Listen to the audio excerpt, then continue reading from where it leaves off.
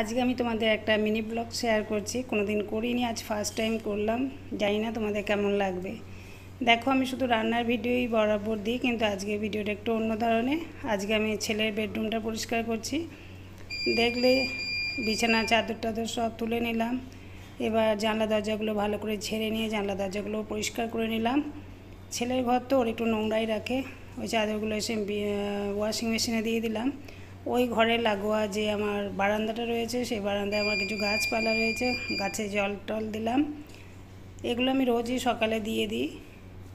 আর যেহেতু বারান্দার গাছ, এগুলো তো বর্ষার জলটা পায় না, কিন্তু তার সেই জন্য রোজ দিতে হয়। এইভাবে বারান্দার প্রত্যেকটা গাছে জল টল দিয়ে তারপরে আমি ওর বেডরুমটার সমস্ত কিছু, জানলা, দরজা ও টেবিল, যা যা কম্পিউটারে জিনিসপত্র পাশের রুমে রয়েছে, সব কিছু পরিষ্কার করে দিলাম। তোমাদের যদি ইন্টারেস্ট লাগে, তোমরা আমাকে জানাবে, আমি এক একটা রুম শেয়ার করব। দেখো, বারান্দা পরিষ্কার করে নিয়েছি বেডরুমটাও পরিষ্কার করে নিয়েছি। আবার অন্য একটা বেডশিট পেতে দিলাম। এবার ঘরটাকে সুন্দরভাবে সাজিয়ে নিলাম। দেখো বেডরুমটা এবার কেমন লাগছে। যাদের ঘরে ছেলে আছে, তারা তো নিশ্চয়ই বুঝতে পারছ, ছেলেরা বেডরুম কীভাবে রাখে। মাদের তো করতেই হয়, সেই জন্য আমি সুন্দর করে সপ্তাহে চার পাঁচ দিন অন্তপক্ষে বলতে পারো আমি এইভাবে রুমটাকে সাজিয়ে পরিষ্কার করে রাখি।